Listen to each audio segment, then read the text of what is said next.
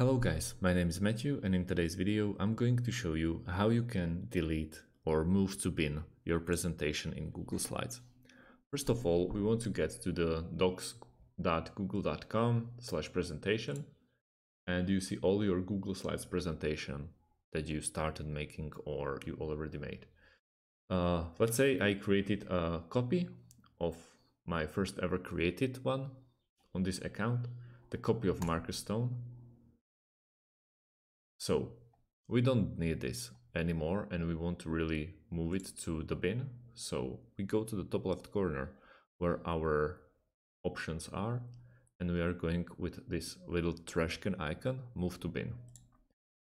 Now you will see uh, some text about uh, it will be deleted after 30 days. Take out the bin of the bin so you'll just reverse the action or go to slides home screen. And as you can see, the one we deleted is no longer here. So yeah, it's very easy. So you can also, as you can see, go like this and remove from this, which is move to bin. It's exactly the same stuff, but this will give you an option. Uh, you can undo it once it's, once it's in the bin. So that's about it. And thanks for watching and see you in the next video.